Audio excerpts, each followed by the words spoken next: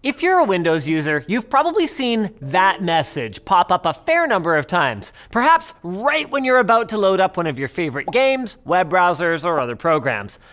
But why does Windows insist on bothering you like this? I mean, you clicked on the program, you obviously want it to run. Don't you?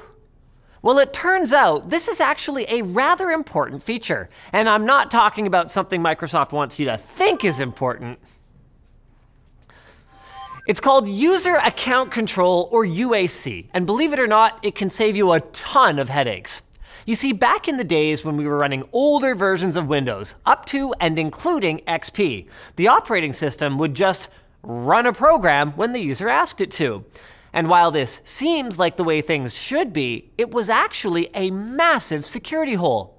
By default, all programs were given privileges by Windows. And I don't mean like uh, a little bit of extra RAM for being well behaved, but rather programs could essentially run whatever code they wanted after they were started. Now, oftentimes, this wouldn't cause any problems if an innocuous program like a word processor was behaving properly. The issue is that this also meant that a poorly coded, malfunctioning, or even malicious program could cause serious problems by making changes to the operating system. So, starting with Windows Vista, Microsoft took away privileges from programs that weren't an integral part of the OS and started directly asking users if they wanted to allow a program to make any changes instead of just letting it happen without any input. And although many features included in Vista were ill conceived and later scrapped, user account control ended up sticking around. The most obvious benefit of UAC is that if a malicious program tries to mess with your system, you'll get a pop-up before it can make any changes, which you can use to deny it access. But many other things can result in Windows saying to a program, just what do you think you're doing? and asking for your approval. So, installing drivers, altering many system wide settings, defragmenting a hard drive, or even changing the contents of a folder that the operating system protects, like program files, will raise the suspicion of Windows and cause a UAC prompt to appear asking for administrator privileges. So these are the privileges that we talked about a few minutes ago that older versions of Windows just gave out like candy.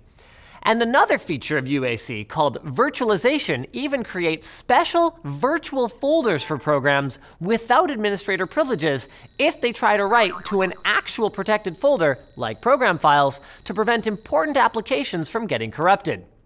So it's not surprising that when you try to install new software, you might see a UAC prompt or even two, since program installers often have to make changes to files and settings that Windows considers sensitive. And if you're setting up a new PC, well, it can be annoying since you probably have a lot of applications, drivers, and I mean, even hardware to install. So, like, we get it. And it's especially irritating to deal with UAC when you're opening or installing programs. But we definitely recommend against disabling it. Doing this could allow malware to run in the background completely undetected, and besides, many modern programs are now written with UAC in mind and don't just assume that Windows will give them administrator privileges, so it's becoming more and more common to see programs that will run just fine without UAC approval. The most important thing though is if you do leave it enabled, make sure you're actually using it. Leaving it on only to just click yes every single time without reading the prompt isn't going to help you much. It's kind of like getting a smart video doorbell and then just buzzing in the crazed looking guy with the knife.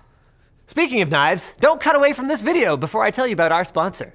If you've ever been in the need for a quick video clip for B-roll or an After Effects template or motion background, check out Storyblocks. We've used them here on TechQuickie and it's really simplified our workflow. Clips are easy to find and you can download as many clips as you want at a low cost to test in your project, whether it's a YouTube video or a video background for your website.